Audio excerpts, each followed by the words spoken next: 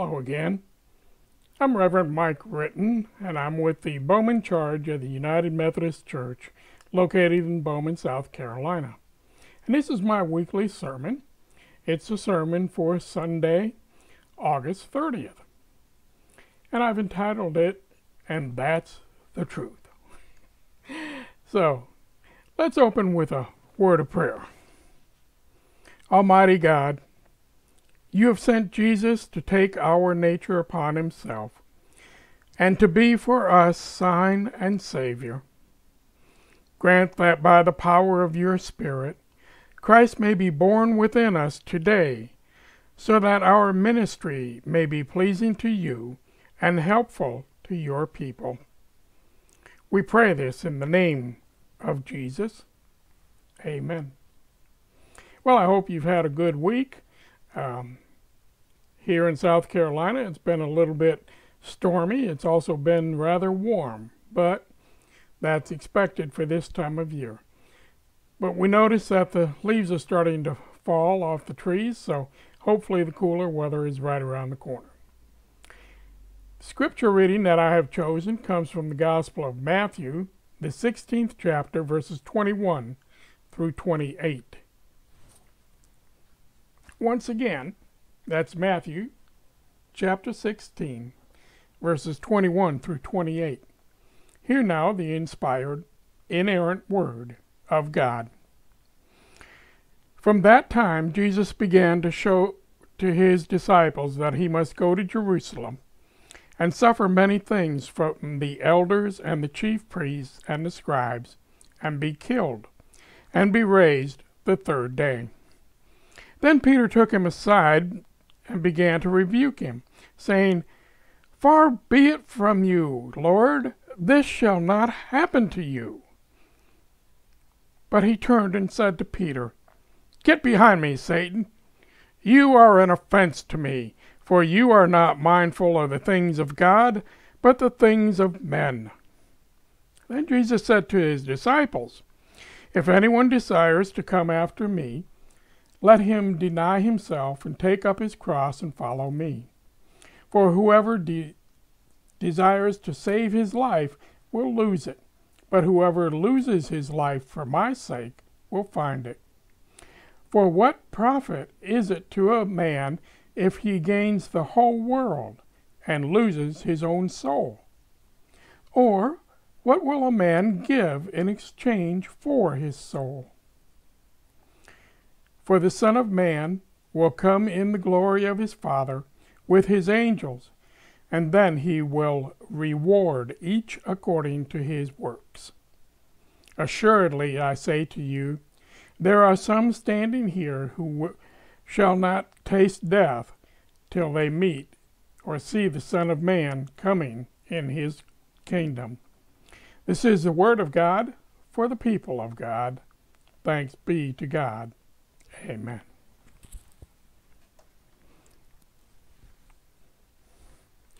All right, once again, that came from Matthew's Gospel, the 16th chapter, verses 21 through 28.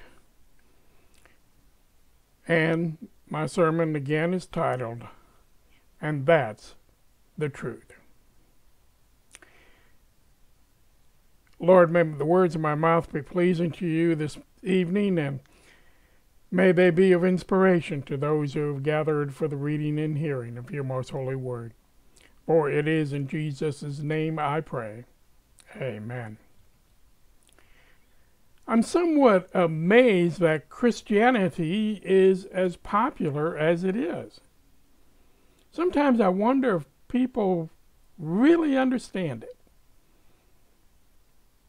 From our gospel reading, it's seems that Peter certainly didn't understand it. He had some grand and glorious ideas about what Jesus was going to do, and he wanted to be a part of that grand and glorious enterprise. If we would have asked Peter what he expected of Jesus, I'm not sure how he would have answered, but I'm certain it would not have been the correct answer most likely he would have said something that he expected Jesus to be like David, Israel's great king and Israel's greatest warrior. Israel was never a large country, but under David, it became a great country. The Israelites won battles, expanded their boundaries, and commanded respect. That's what people want respect. However, in Jesus' day, it had been a very long time since Israel had commanded respect. In the years after David, Israel had been defeated, conquered, and humiliated. During Peter's lifetime, the Russian Romans occupied Israel, collected taxes for the emperor, stamped Caesar's image on their coins, and the Jews did pretty much as they were told.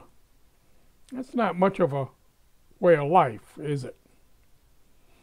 The Jews didn't expect that to go on forever, though.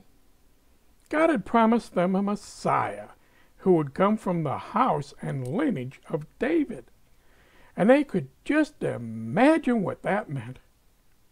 This Messiah, the man like David, would lead them, would show the Romans a thing or two, would win their independence, and would make them great again.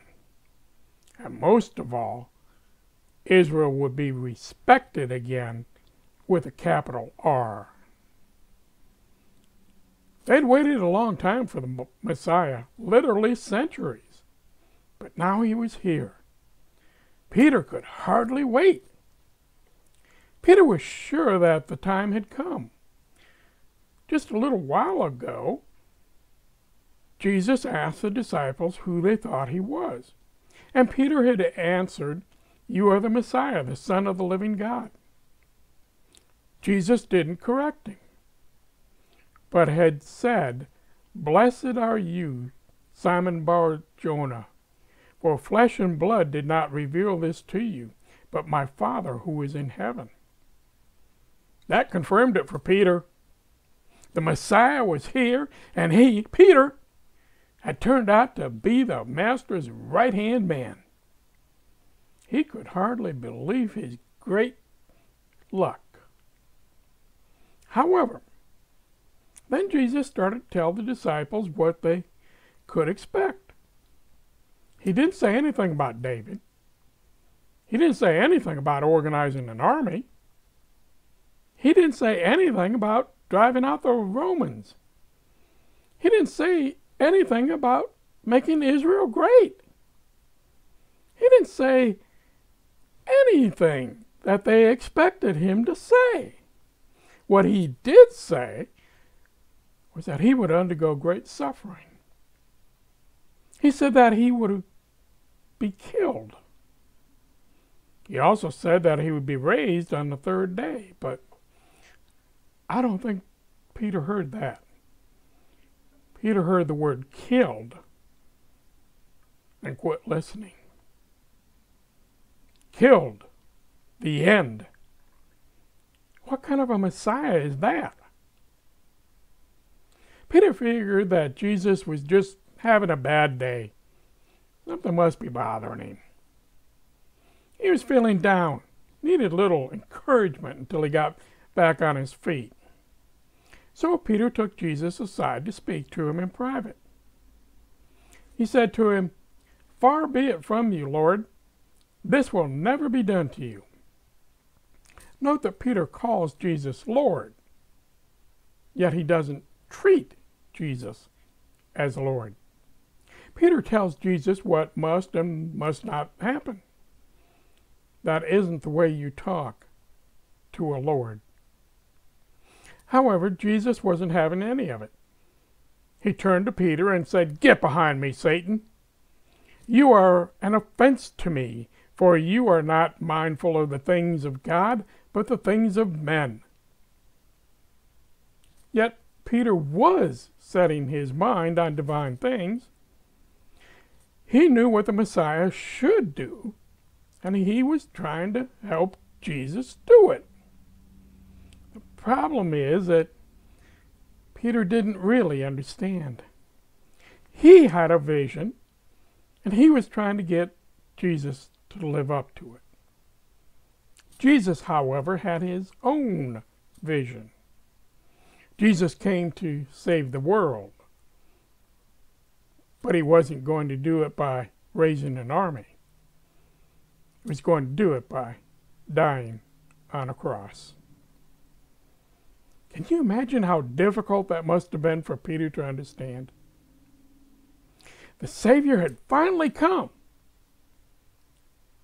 but he'd come to die. That doesn't make much sense, does it? Then Jesus turned to the other disciples and said, If anyone desires to come after me, let him deny himself and take up his cross and follow me. For whoever desires to save his life will lose it, but whoever loses his life for my sake will find it. I believe that the other disciples were as baffled as Peter was. What Jesus was introducing them to was the kingdom of God, where all the rules are upside down and backwards. It was just too much for them to understand. They wouldn't really understand it until they saw the risen Lord.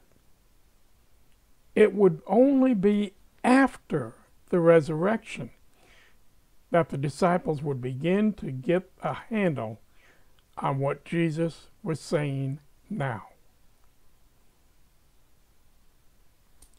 Frankly, we have trouble understanding it too. We have our own beliefs, just like Peter did, and we want Jesus to bless those ideas. God helps those who help themselves, we say. That makes a great slogan, doesn't it? Has a nice ring to it. God helps those who help themselves. However, I have news for you. That isn't in the Bible nor is it what the Bible teaches. Not by a long shot.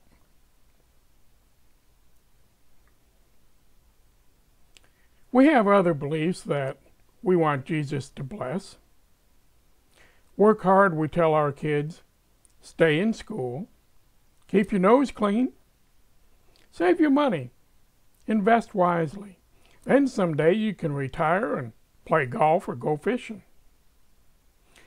Yet that isn't in the Bible either. Nor is it the kind of game plan that Jesus envisions for us. He says, If anyone desires to come after me, let him deny himself and take up his cross and follow me. For whoever desires to save his life will lose it, but whoever loses his life for my sake will find it. Is that what we teach our kids? Probably not. But we need to hear it, and our children need to hear it as well. It isn't that Jesus wants us to be miserable. He just wants to show us the way to true joy. As one commentator put it, Jesus isn't anti our life, He's anti preoccupation with our life. Jesus warns that if we decide to live and only focus on self, life will backfire on us. We'll find that we can't get enough of anything to fill the empty place at the core of our being. There won't be enough money, toys, sex, or power there won't be enough of anything to fill that empty place at the core of our being. If we choose to spend our lives filling that empty space, we'll grow very weary feeding it and grow frustrated at never being full. Jesus warns us that if we spend our lives running after the things that we think will make us happy, we'll find ourselves in a rat race that goes on and on and on. At first, it'll seem exciting, but after a while, it'll become boring, and then it'll become downright tedious. At some point, we'll want to quit. But we'll find out it's the only game we know. Then, when the game finally stops, and trust me, the game will stop, we'll find ourselves in the most godless place we've ever lived. However, Jesus promises that if we're willing to lose our lives for His sake, if we're willing to go where He would have us go, and do what He would have us do, if we're willing to live our lives in devotion to God and service to others, we'll find the kind of satisfaction that everyone wants, but only few people find. Jesus says, But whoever loses his life for my sake will find it. And that's the truth. Let us pray. Our Heavenly Father, we thank you for this message. From the time we are small, we are told that we have to look out for number one. That nobody else is there to help us, that if we want to achieve anything, we're going to have to get it on our own. And this world teaches us that it's okay to stab others in the back in order to get ahead. It's okay to lie about others to make us look better. That's not what your holy word teaches. And so, as Christians, we don't fit in.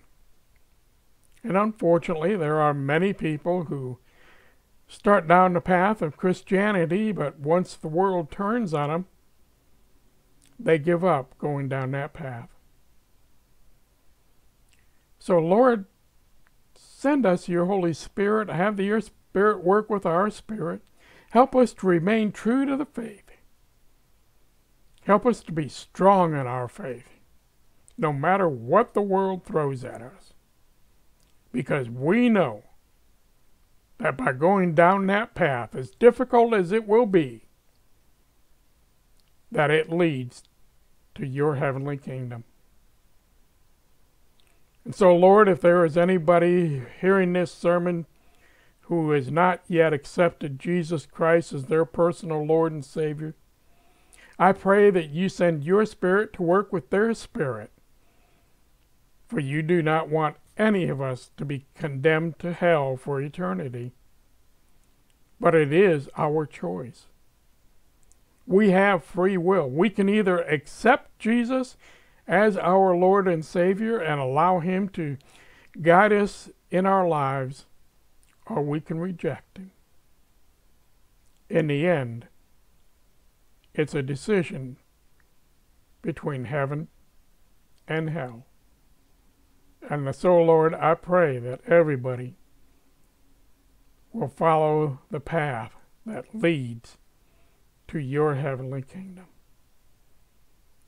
I ask these things and pray this prayer in the mighty name of Jesus. Well, thank you for tuning in. I hope you have a blessed week. And if you're not attending worship service in person, Please remember to send your tithes and your offerings into your church secretary, or your church treasurer, I'm sorry. Sometimes the, the secretary is the treasurer. Anyway, make sure that you send those tithes and those offerings in, and don't forget about that Sunday school offering as well. Take care. God bless. God bless our nation. We pray for our nation that somehow all this evil and violence will stop. We need to become one nation under God once more. Again, take care. God bless. And I hope to see you back here next week.